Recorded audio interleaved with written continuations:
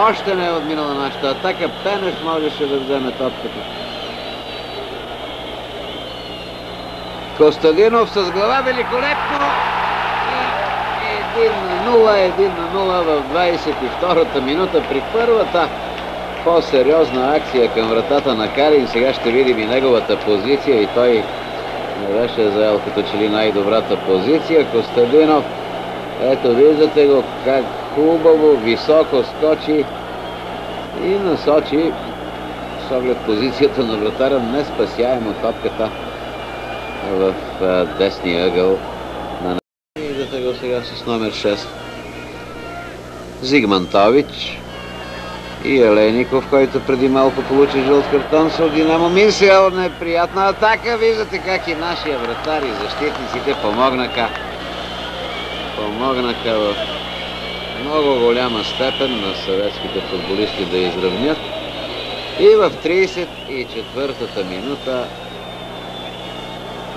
резултата е равен.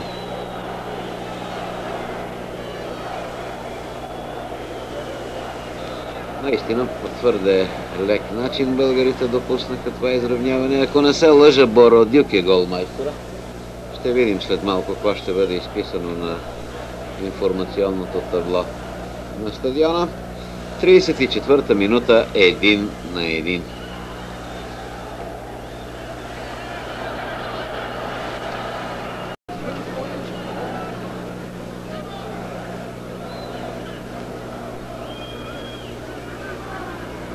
Атака на съветските футболисти.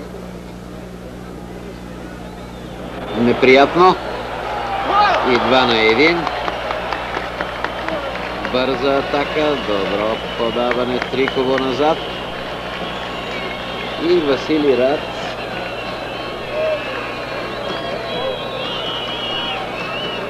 В 54-та минута извежда съветски отбор напред.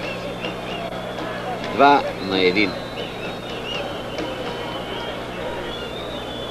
Имате възможност още един път да видите как Триколо хубаво назад с пета върна Протасов и вратителищия Васили Рац не остави никакви надежди за нашия Вълов.